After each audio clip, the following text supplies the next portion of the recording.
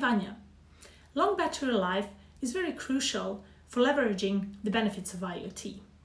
Picking the right connectivity for your product, for your user case, and integrating really well is a big step in reaching that product longevity.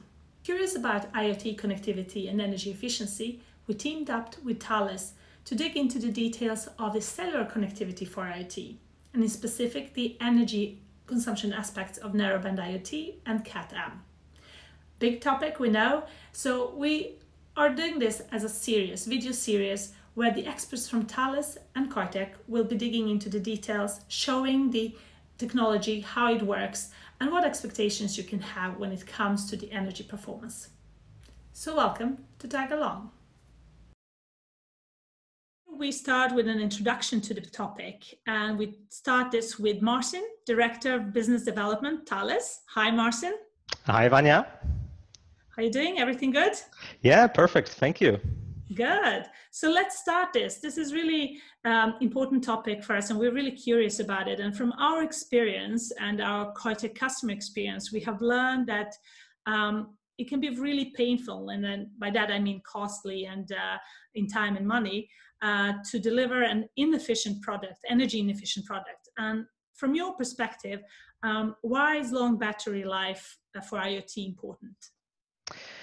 Yeah, so so long battery life is important uh, for IoT. Um, first, because uh, um, it helps to enable the new use cases. Uh, so let's think about uh, you know the simple connected sensors uh, that are uh, you know powered by some low cost battery. From the other side, it helps also to reduce the device maintenance cost. so replacing the battery is of course always costly. you need to send technician uh, on site. And that is the well known problem, uh, for example, to the metering uh, industry. but, but the long battery lifetime means also, um, you know, the optimized power consumption. And that can make the devices to become smaller and smaller, and which is, of course, also um, an important aspect of the consumer IoT. Yeah, for sure. Uh, well, there's an ocean of the connectivity options today, right? And they all serve different user cases. So why would you like? Why would cellular technology uh, be good for IoT. Can you explain a little bit more, like why would you pick that, and what is the kind of the right uh, connectivity to consider? Uh, yeah, yeah, of course. So, so the cellular technology operates in the in the license spectrum, right? So, and and can provide the very reliable uh, connection in terms of the uh, network stability. It allows the application to work under harsh conditions, communicate on the on the long distance, or operate in you know very crowded uh, environment. Of course, not every uh, cellular technology fits each uh, use case. Uh, so therefore, it's so important to understand uh, the use case itself and uh, its requirements. Oh. So tell us a little bit more about the narrowband IoT and Cat-M. Uh, what are the differences and what do you need to consider when you are picking the connectivity, especially then from the energy efficiency perspective? Yeah, so so so the the the, the very important uh, uh, thing to understand first is, uh, of course, uh, you know how frequently and and how much data uh, you, you need to exchange, uh, and you know the Cat-M it was designed, mm, you know, to operate efficiently with with small data, and NB-IoT is more like the message-centric uh, uh, technology. To give you an example, uh, if we consider um, some application that uh, um, need to exchange the information from the sensors, like you know the batch of the sensors, uh, maybe some uh, logs that are captured, it will land more on the Cat-M. Uh, while for um, smoke detector, um, this uh, operates with the very limited uh, exchange, the very limited data, and that would be more suitable for, for NB-IoT technology.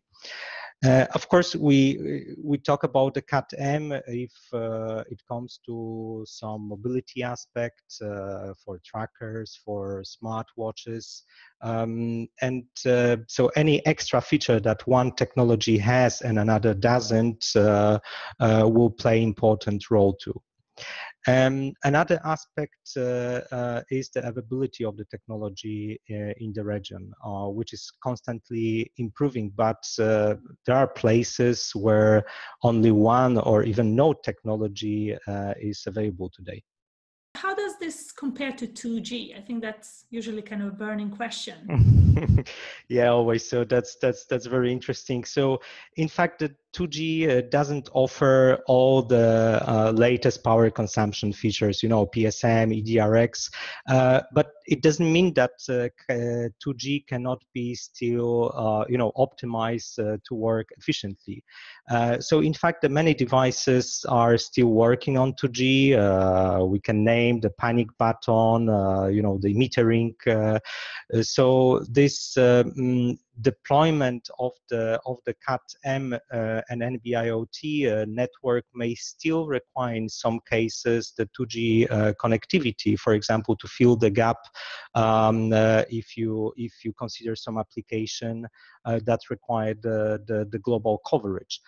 Uh, but there is uh, one important aspect uh, of the um, uh, of the uh, that CAT-M and NB-IoT technology um, have as an advantage over over 2G. This is about the the efficiency when it comes to the massive deployment of the um, devices in the network. So with the different sleep modes, the network can better organize the resources uh, thanks to dynamic uh, timers that module negotiates with uh, with the network.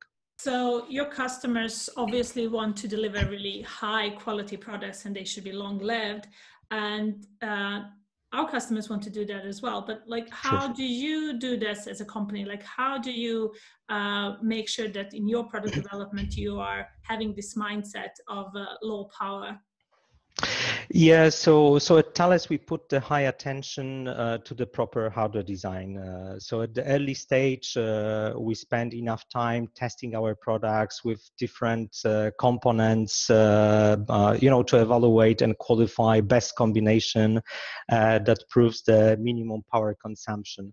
Uh, and of course that gives the, the, the, enough longevity in the design. So our development team um, uh, uses well-equipped facilities and and uh, is is capable to you know test, measure uh, uh, all relevant parameters uh, on the module, and thanks to um, to the measurement equipment that you offer. So so this let's say extra performance of of our module uh, can can now be well recognized uh, by the customers. So yeah so using the the, the uh, measurement tool um, uh, will, will help to optimize the application performance running with our module and I think that's uh, there is there is a um, you know the significant saving in the total cost of ownership that customer uh, can make just by optimizing the power consumption of uh, their device. Yeah, for sure, and we we see this with our customers as well. Like the things tend to go much faster and the products get much better when you uh, don't need to firefight all the time and with the energy consumption responsibilities shared across the disciplines and throughout the whole product life cycle. So it's it's a mindset definitely and to have this mindset we have seen in our customer base that is really changing from just going from the hardware development into also software development and different stacks of the software development production and field testing.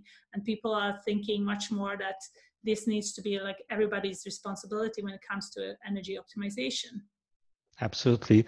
So we, we, we also see that, uh, in fact, more and more MNOs uh, uh, take the power consumption as uh, an important aspect, right, of, of the proper integration to the network. Uh, some of them started to request the power profile of the module and, and, and are testing it. Uh, so, so I know that you collaborate with, with, with some of the network operators. So can you say a little bit more about this partnering? Yeah, for sure. And we we we do actually we are partnering with uh, Deutsche Telekom and we're partnering also with AT and T, and we definitely see how important this is for them and uh, how they are. Um, making sure that uh, everything that is coming into their network is really energy optimized. They have really high ambitions in, um, getting uh, companies to understand that this is really important for for for the network. It's important for their own um, uh, business as well, right? The uh, those who are providing devices and those who are actually using devices, and of course the MNOs as well. So it's it's um, uh, it, it has changed quite a lot, and I uh, it's a very positive change, very yeah. positive change indeed. So um, when it comes to the uh, narrowband IoT and, and CAT-M products, how how does one start? Like, what do you? How would your customer like approach you, and how would you approach your customer and say, okay, this is how you should kind of start uh, working with these um, modules and with this type of technology?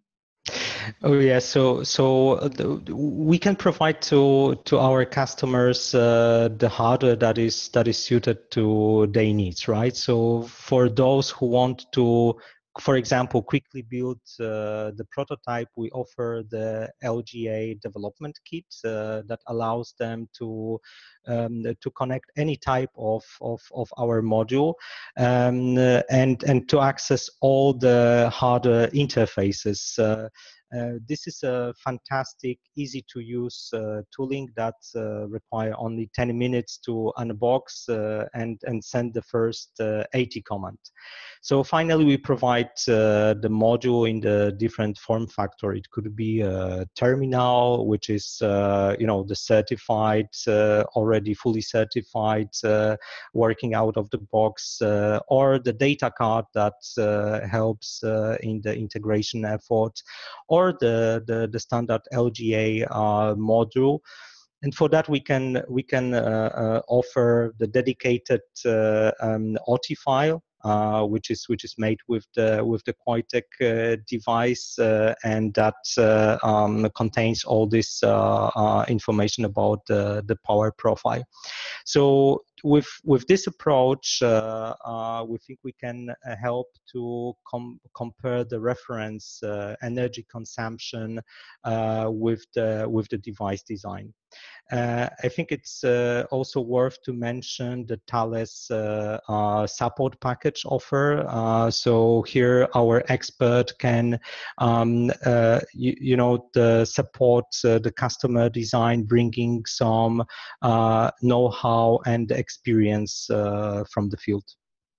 Mm, very cool. And yes, we are very glad that you guys are also using the Otii files as, as part of your energy consumption performance documentation. And I think it's extremely crucial for the customers to have this kind of good reference because they are in mm-hmm. for a development project and integration that is quite complex mm. and they it's a good starting point to understand uh, what they are using and what they're going to be kind of getting out of it so very very good.